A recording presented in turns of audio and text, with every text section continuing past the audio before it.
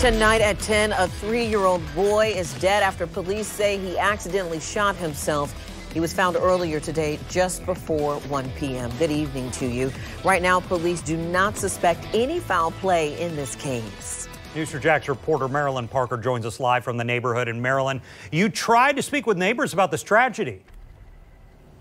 We did, and you know, a lot of them were just saying, What is there left to say? Everyone was just really shocked that this even happened. Police are saying this was an accident, but they want to let everyone know it's early in this investigation. The call came over the scanner.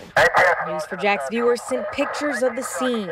Jacksonville Fire Rescue called JSO to assist with a person shot. When police got to a house on Crimson Leaf Lane around 1 p.m., they found a three year old boy shot in the head. He died at the scene. Police blocked off the street for hours. Investigators say the boy shot himself. They don't believe there was any foul play. News 4 Jax records show in 2021 there were five accidental child shootings in Jacksonville. Three of them were fatal.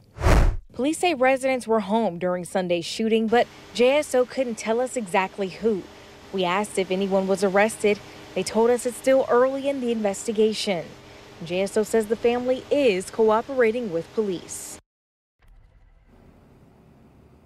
JSO put out a reminder to everyone to secure your weapons. Coming up tonight on News 4 Jax at 11, we're going to look at some national statistics for accidental gun deaths involving children and also send some reminders to gun owners. Reporting live tonight, Marilyn Parker, Channel 4, the local station.